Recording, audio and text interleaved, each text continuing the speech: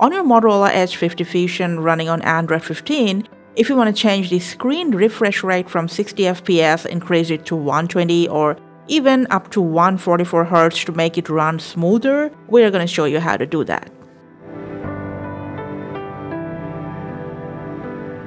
Okay, generally it's set on auto mode. So the screen FPS changes according to where you are and what you are performing, but it never exceeds beyond 120. So if you want to change it manually, just go to settings, from there to display, from there to display refresh rate. And from here, you can manually change the refresh rate up to 144. Now, just a little heads up, a 144 Hz will consume a lot more battery on your device.